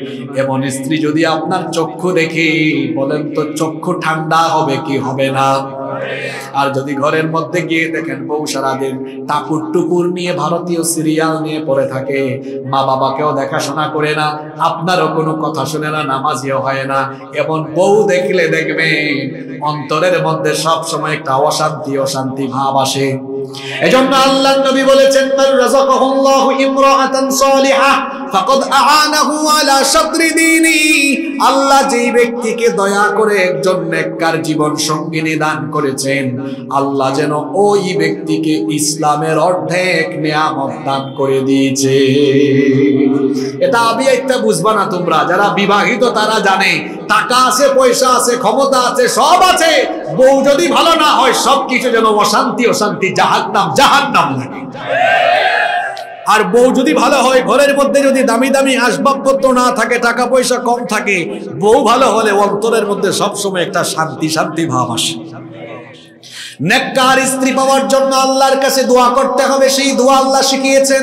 আবার যারা বিবাহিত, তারাও এই দোয়াটা করবেন। স্ত্রীকে যেন আল্লাহ আপনার জন্য চক্ষু শীতলকারী বানিয়ে দেন। দোয়ার পরবর্তী অংশটা হলো, আল্লাহ শুধু আমাদের স্ত্রী নয়, আমাদের সন্তানগুলোকেও আমাদের জন্য চক্ষু শীতলকারী বানিয়ে দেন। আর সন্তান ছেলে মেয়ে যদি নষ্ট হয়ে যায়, তাহলে দুঃখের কোনো শেষ নাই। আপনি যদি বাড়িতে দেখেন, আপনার ছেলে আজান হলেই আপনাকে এসে বলে, আব্বু, চলেন মসজিদে যাই। আপনার ছেলে যদি বাড়ির সবার সাথে ভালো আচরণ করে এলাকার সবাইকে সম্মান করে। এলাকার মানুষজন বলবে, অমুক সাহেবের ছেলে এত ভালো তার আচার আচরণ, কথাবার্তা এত সুন্দর আসলে এই ছেলেটা ভালো। এমন কথা যদি আপনার কান শুনে, বলেন তা আপনার সেই ছেলেটাকে দেখলে কলিজা ঠান্ডা হবে কি হবে না? আপনার ছেলে মেয়ে যেন চক্ষু শীতলকারী হয়, এজন্য আল্লাহ দোয়া শিখিয়েছেন, বান্দা, তোমার স্ত্রী আর সন্তানকে তুমি যেন পরহেজগার, চক্ষু শীতলকারী হিসেবে পাও। এজন্য আমার কাছে তুমি দোয়া করো, এটা আমার প্রিয় বান্দার বৈশিষ্ট্য। আল্লাহ তালা দয়া করে দোয়াটাও শিখাইয়া দিলেন। কেউ চুপ থাকবেন না, সবাই আমার সঙ্গে পড়েন। রব্বানা হাবলানা মিন আজওয়াজিনা ওয়া যুররিয়াতিনা কুররাতা আয়ুনিন ওয়াজআলনা লিল মুত্তাকিনা ইমামা। হে আমাদের রব, আমাদের স্ত্রী সন্তানদেরকে তুমি আমাদের জন্য চক্ষু শীতলকারী বানিয়ে দাও আর আমাদেরকে মুত্তাকিদের ইমাম বানিয়ে দাও। ভালো করে শোনেন। অনেকে আছেন তার ছেলেকে নিয়ে। একজন আলেমের কাছে এসে বলেন হুজুর, দোয়া করেন। আমার ছেলেটা যেন আপনার মতো আলেম হতে পারে। বাবা, আপনার স্বপ্ন এত ছোট কেন? আপনার ছেলে অমুক আলেমের মতো, তমুক আলেমের মতো আলেম হবে কেন? আল্লাহ এত বড় স্বপ্ন দেখালেন, এত সুন্দর দোয়া শিখালেন। আল্লাহ বলছেন, তুমি দোয়া করো, তোমার স্ত্রী সন্তান যেন মুত্তাকিদের ইমাম হয়। কাদের ইমাম?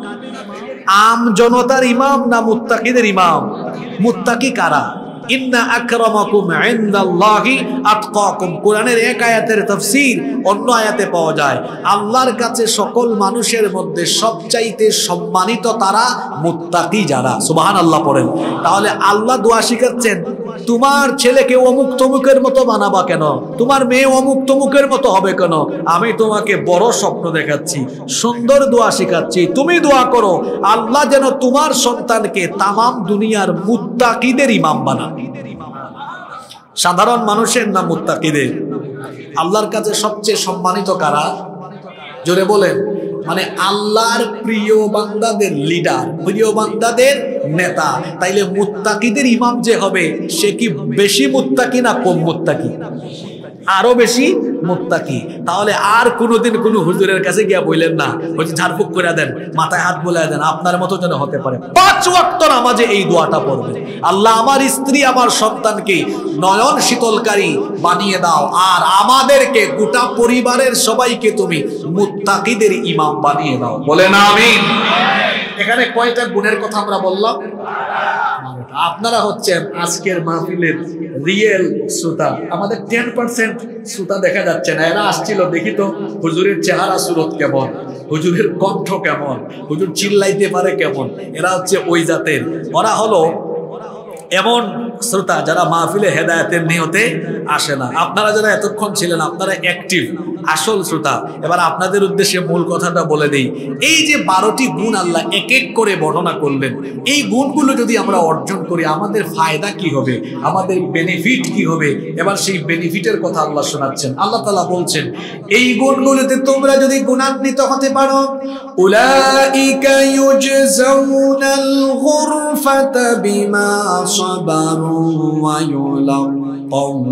ফিহা তাহিয়াতান ওয়া সালামা খালিদিনা ফিহা হাসুনাত মুস্তাকাররান ওয়া মুকামা এই গুণগুলোতে গুণান্বিত হবে জানা। চিরস্থায়ী জান্নাতের সুউচ্চ প্রাসাদের সুসংবাদ পাবে তারা। এই গুণগুলো অর্জন করলে জান্নাতের সুউচ্চ প্রাসাদে আমাদেরকে যিনি আবাসস্থল ঠিক করে দিবেন, গলার আওয়াজ বড় করে সবাই বলেন তো তিনি কে? রহমানের বান্দাদের কয়টা গুণ এই সুরার শেষে বলা হয়েছে? এই বারোটা গুণ কে বলতে পারবেন? কে মাশাআল্লাহ মাশাআল্লাহ, ওই সবুজ পাঞ্জাবি ভাই বলুন। দেখি ভাই নীল পাঞ্জাবি না? নেভি বলেন তো ভাই। মাশাআল্লাহ বলেন।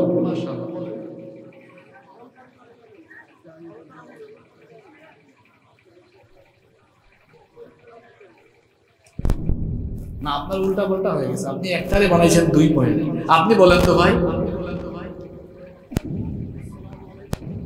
ওয়ালাইকুম আসসালাম।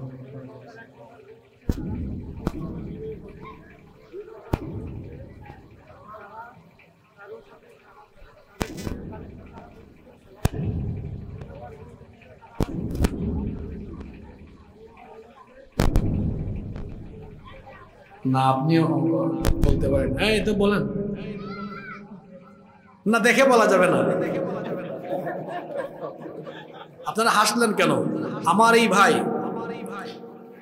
সে আমার মতো। এই যে দেখেন, আমার সামনে নোট আছে। দেখেছেন? নোট কেন আছে? কেন আমি নোট করে কথা বলব? কারণ আমি এক ঘণ্টা, দেড় ঘণ্টা বক্তব্য দিব, আমি আমার পয়েন্টের বাহিরে কথা বলব। আমি একটা টপিক ধরবো, শেষ পর্যন্ত ওই টপিকেই কথা বলব। কিছুক্ষণ ডানে ব্রেক মারবো না, বামে ব্রেক মারবো না। সময় নষ্ট করব না। আমার এই ভাইকে নিয়ে আপনারা হাসলেন। আমার তো মনে হয় আজকের সবচেয়ে সেরা একটিভ শ্রোতা হলো সে। বলতে পারুক আর না পারুক, সে তো বসে বসে পুরো আলোচনা শুনে পয়েন্টগুলো নোট করে ফেলেছে। এটা একজন ভালো শ্রোতার বৈশিষ্ট্য। আমি জানি আপনারা সবাই পারেন, কিন্তু অনেক মানুষ আছে, অনেক জ্ঞানী। দেখবেন আমাদের এলাকায়ও আছে, অনেক জানে, কিন্তু মানুষের সামনে দাঁড়াইলে বলতে পারেন এরকম আছে না? হয়তো আজকে এরকম মানুষ একটু বেশি, একটু সাহসিকতার অভাবে বলতে পারছে না, আসলে সবই জানে। আমি সহজ করে দিই, এক নাম্বার, রহমানের বান্দারা ভদ্র না অভদ্র? জোরে বলেন, ভদ্র না অভদ্র? অহংকারী না বিনয়ী? হেলিকপ্টার দেখছেন তো, ড্রোন দেখছেন তো? এই জন্য আপনি পারেন নাই। একটি হলে এক নিঃশ্বাসে বলে ফেলতেন। যারা যদি বলতে পারতেন, আজকে কিন্তু হাদিয়া পাইতেন। যাই হোক, কি? পারবেন? এতক্ষণ হাত তোলা নাই, মুখস্থ করছেন? আচ্ছা বলেন, ঠিক আছে। মাশা আল্লাহ সাহস আছে। মাশা আল্লাহ বলেন। সাহস আছে, বলেন। কীরকম আগায় আসছে দেখছেন? মানে একদম সিনা টানায়া। বলেন মাশা আল্লাহ তারা অহংকারী হয় না বদমেজাজি হয় না এবং থেকে জন্য দোয়া করে। আল্লাহর সাথে কাউকে করে না। মিথ্যা সাক্ষী দেয় না। তারপরে, ছেলে সন্তান জন্য দোয়া করে। অনেক বড় কথা বলে। আমার ভাই বলে ফেলছে, মাঝখানে ওই যে ভয়ের কারণে এতগুলা মানুষ সামনে তো, মাঝখানে একটা ফালাই আসছে, কি একটা কৃপণ হয় না, দানশীল হ্যাঁ। তারপরে আরও এক দুইটা মাঝখানে ছুটে গেছে। কোরআন অন্ধ আর বধিরের মতো শোনে না। এই হেদায়াতের উদ্দেশ্যে শোনে। মাশাল্লাহ যাই হোক, আমার ভাই অন্যদের চেয়ে এগিয়ে আছে। বলেন মাশা আল্লাহ বসেন একশোতে একশো পাইলে হাতিয়া থাকে। এরকম হবে না মাশা আল্লাহ তবে আপনাদের আরও মনোযোগ দিয়ে শোনা উচিত ছিল। আমি এটা আজকের মাহফিলে না। আমি সকল মাহফিলে আলোচনার শেষে মানুষকে প্রশ্ন করে বুঝি কি বুঝছেন বলেন? সামারি বলেন। পুরো আলোচনার সামারিটা কি? যাই হোক, চলেন আমরা সামারিটা এক মিনিটে জেনে নেই। রহমানের বান্দারা হয় নম্র, ভদ্র, বিনয়ী। দুই নাম্বার, রহমানের বান্দারা উগ্র হয় না, বদমেজাজি হয় না, বরং তারা হয় সহনশীল। রহমানের বান্দারা কি হয়? সহনশীল। তিন নাম্বার, রহমানের বান্দারা রাতের বেলা তামাশা করে না, সাজদা দেয় কাকে? চার নাম্বার, রহমানের বান্দারা ইবাদত গুজারি হয়ে অহংকার হয়ে যায় না। আল্লাহর আজাব থেকে বাঁচার জন্য আল্লাহর কাছে কি করে? দোয়া করে। পাঁচ নাম্বার, রহমানের বান্দারা কৃপণও হয় না, অপব্যয়কারীও হয় না। তারা কি হয়? দানশীল। জোরে বলেন। দান করছেন তো সবাই। কারা কারা করছেন? দেখে হাত তোলেন তো। যারা করে নাই, হয়তো বাড়ি থেকে আসার সময় কিছু নিয়ে আসে নাই। আল্লাহ তাদেরকে আরও বড় দানশীল বানিয়ে দেন। ছয় নম্বর রহমানের বান্দারা আল্লাহর সাথে কাউকে শরিক করে না। সাত নম্বর রহমানের বান্দারা অন্যায় ভাবে মানুষ হত্যা করে না। আট নম্বর রহমানের বান্দারা জিনা বেবিচারের ধারে কাছেও যায়। নয় নম্বর রহমানের বান্দারা মিথ্যা সাক্ষ্য দেয় না, দশ নম্বর রহমানের বান্দারা অনর্থক কথা বা কাজের ধারে কাছেও যায় না, এগারো নম্বর রহমানের কোরআন অন্ধ আর বধিরের মতো শোনে না, শোনে তারা হেদায়াতের উদ্দেশ্যে, বারো নম্বর হলো স্ত্রী সন্তান আর নিজের গোটা পরিবারকে পরে হেজগার হওয়ার জন্য, বিশেষ করে স্ত্রী সন্তানকে চক্ষু শীতলকারী হিসাবে পাওয়ার জন্য, দোয়া করে কার কাছে? এই বারোটি গুণে যদি আমরা গুণান্বিত হতে পারি, আমাদের জীবন সুন্দর হয়ে যাবে, আমাদের জীবন সফল হয়ে যাবে। দুনিয়াতেও টেনশন থাকবে না, আখিরাতেও কোনো টেনশন থাকবে না। হিংসা আল্লাহ কারণ এই গুণাবলী অর্জনকারীদের জন্য তো দুনিয়ার কোনো হুজুর জান্নাতের সুপারিশ জান্নাতের ঘোষণা করেন নাই, সুসংবাদ দেন নাই, সরাসরি জান্নাতের ঘোষণা যিনি দিয়ে রেখেছেন, জোরে বলেন তিনি কি? আল্লাহ তালা আমাদেরকে এই বারোটি গুণে গুণান্বিত হওয়ার তৌফিক দান করেন। আমরা সবাই বলি আমি